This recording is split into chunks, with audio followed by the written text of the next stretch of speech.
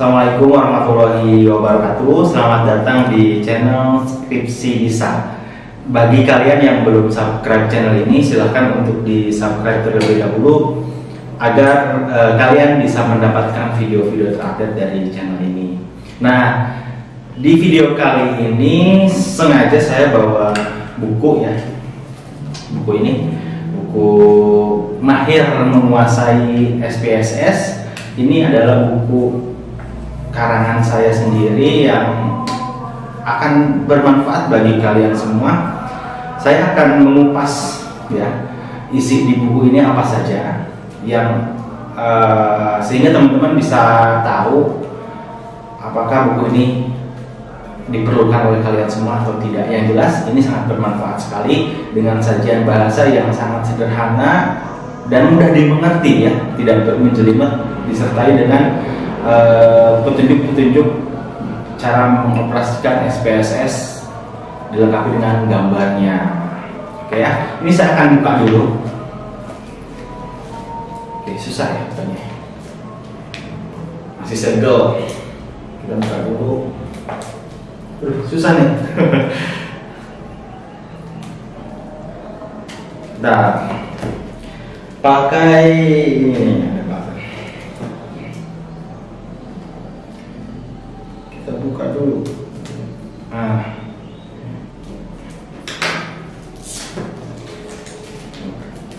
masih baru, semuanya masih baru.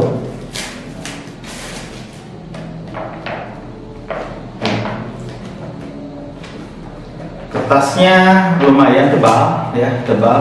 Nah, bisa dikatakan premium lah, worth it banget. Di dalamnya ada pembatas buku. Nah, ya, jadi teman-teman dapat pembatas buku. Tapi yang lebih penting adalah isinya ya. Di dalam buku ini, ini membahas dari mulai uh, sekilas tentang SPSS ya. Lalu penerapan statistika dalam penelitian, terus perkenalan mengenai aplikasi SPSS. Nah, di sini dijelaskan dari mulai analisis deskriptif, terus uji asumsi klasik sampai dengan nanti ada uh, uji yang harus kalian gunakan di penelitian, misalnya komparatif atau asosiatif. Dan di sini ada contoh nih, kalau misalnya teman-teman pakai komparatif yang membe apa, membandingkan gitu ya, ini ada uji dua beda rata-rata pakai one way ANOVA lalu kalau misalnya teman-teman menggunakan analisis regresi di sini pun udah lengkap ada yang regresi sederhana dan berganda ya. Namun sebelumnya pun ada uji asumsi klasik. Nah di dalam buku ini ada analisis jalur ya. Dilengkapi dengan analisis jalur juga analisis variabel moderasi. Yang membedakan buku mahir menguasai SPSS keluaran terbaru dengan buku mahir SPSS sebelumnya yang saya tulis adalah di bahasan variabel moderasi jadi teman-teman kalau misalnya menggunakan analisis moderasi di sini saya sudah lengkapi dan bonus tambahan materi bagaimana cara menentukan T tabel dan F tabel dengan menggunakan Excel. Jadi sini ada dia tambahan, ada materi variabel moderasi dan e, cara menentukan T tabel dan F tabel di buku ini.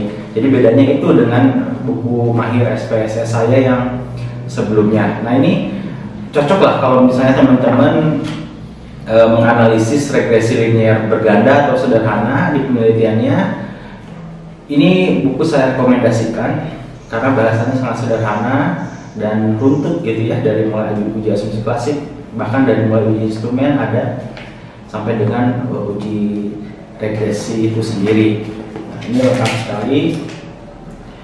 Uh, terbitan baru ya ini kalau nggak salah 2020 deh. Lupa ya. Saya sendiri lupa kapan Oh iya 2020 ya antara 2019 akhir saya ingatnya dan terbit di 2020 jadi ini udah ada update-update daripada buku saya sebelumnya kalau misalnya mau mendapatkan buku ini teman-teman bisa cari ya di internet banyak yang jual entah itu di marketplace ataupun di uh, website penerbit langsung teman-teman bisa bisa cari. Nah khusus untuk para subscriber saya yang ada di mana? Skripsi yang sudah subscribe di channel skripsi bisa. Saya sedang melakukan promo buku ini uh, hanya 30.000 saja ya. Tapi dengan catatan teman-teman sudah subscribe channel ini. Jadi saya kasih harga 30.000 saja. Ini sampai dengan 10 Juli ya. Promonya 10 Juli. Silahkan cek di postingan skripsi bisa. Teman-teman akan akan mendapatkan buku ini dengan 30.000 saya eh dengan 30.000 saja.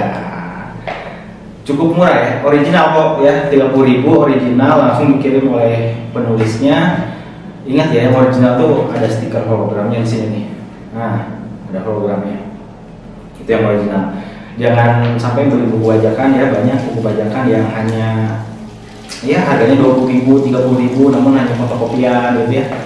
Nah di sini saya kasih harga tiga puluh ribu original sampai dengan 10 Juli khusus untuk subscriber ya. Mudah-mudahan ini bermanfaat bagi kalian nanti e, detail buku bisa cek di deskripsi saya cantumkan ada apa isinya gitu ya dan terkadang saya pun suka adakan giveaway buku ini ya beberapa waktu sebelumnya sudah ada teman-teman yang mendapatkan buku ini. Kapan-kapan saya akan lakukan giveaway lagi. Maka dari itu uh, pantengin terus channel-channel channel ini akan banyak tips tentang skripsi, motivasi-motivasi tentang skripsi dan juga uh, tutorial bagaimana mengolah data penelitian. Nah itu saja teman-teman. Terima kasih. Uh, ditunggu untuk memiliki buku ini. Assalamualaikum warahmatullahi wabarakatuh.